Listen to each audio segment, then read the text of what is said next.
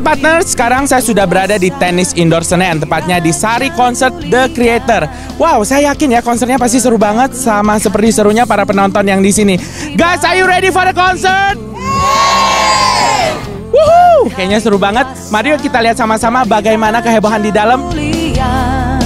Bila Allah ada bersamaku, siapa jadi lawanku? Sekitar 3.000 orang memenuhi tenis indoor Senayan untuk menikmati konser solo kedua Sari Simorangkir yang diberi judul The Creator. Di konser ini, Sari mengemas 18 karya terbaiknya secara medley dengan musik yang mengalun indah.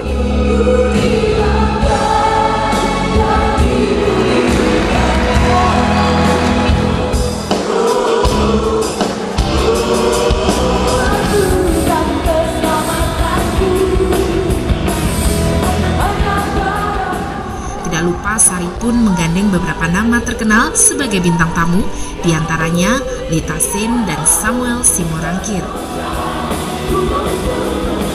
Dan seperti yang sudah saya bilang bahwa Sari bukan sekedar menulis lagu, tapi lagu yang dia tulis merupakan kenyataan dari suatu kehidupan yang luar biasa yang dia jalani selama ini dan bukan hanya sekedar lagu tersebut menjadi berkat buat Sari sendiri, tapi juga buat orang banyak dan dari kesaksian-kesaksian yang kita dengar eh, selama konser ini berlangsung bahwa ada begitu banyak orang yang menerima mujizat, ada begitu banyak orang yang dikuatkan, ada begitu banyak orang yang terhibur oleh lagu-lagu yang Sari sampaikan merupakan suatu kesaksian yang sangat luar biasa. Saya sangat menikmati konser tersebut. Sungguh suatu malam yang sangat luar biasa, penuh dengan lagu-lagu yang sangat menyentuh, penuh dengan kehidupan, sangat memberikan pengharapan. Eh, sungguh suatu malam yang buat saya secara pribadi saya sangat dijamah oleh Tuhan. And I'm so proud of her. Saya sangat bangga dengan Sari dan saya percaya bahwa ini hanya sekedar permulaan dalam eh, karir dan dalam pelayanan Sari Simorangkir. So uh, be blessed, be blessed because I'm so blessed. God bless you. Eh, konsernya bagus banget. Se diberkati. Saya lama banget nggak nggak ikut konser dan Sari eh, sedang banget saya boleh hadir di konser yang sangat memberkati saya dan saya percaya bukan hanya memberkati saya tapi juga memberkati banyak orang. Partners itu tadi kemeriahan konser Sari Simorangkir yang berjudul The Creator. Semoga Anda yang melihatnya juga bisa diberkati sama seperti saya yang berada di sini juga turut diberkati dengan nyanyian dari Sari Simorangkir. Well, that's a wrap dan I'll see you again in the next 3 minutes update. God bless you.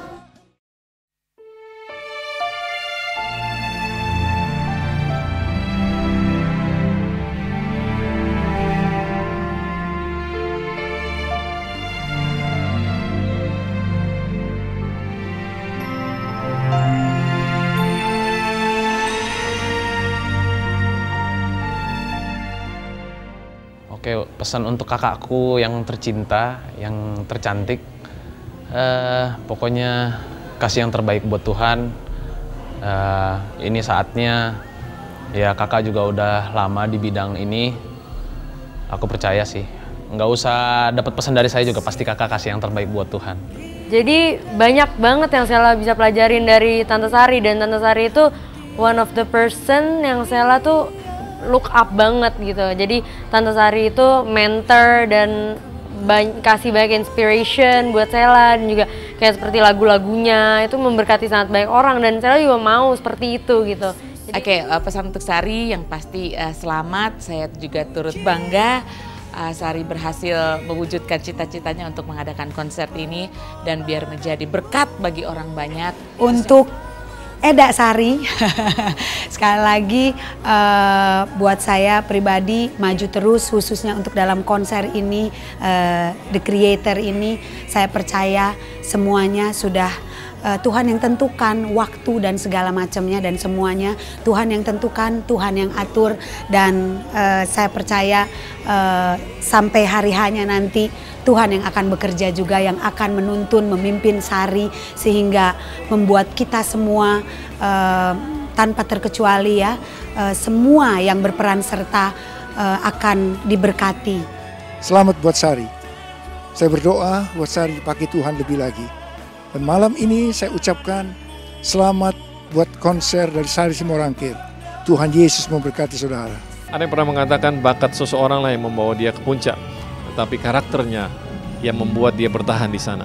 Sari adalah orang yang terus mau belajar, hidup dalam kebenaran, mau ditegur, tertanam di gereja lokal dan konser ini merupakan satu display, satu persembahan yang sangat luar biasa dan saya yakin saudara semua akan diberkati.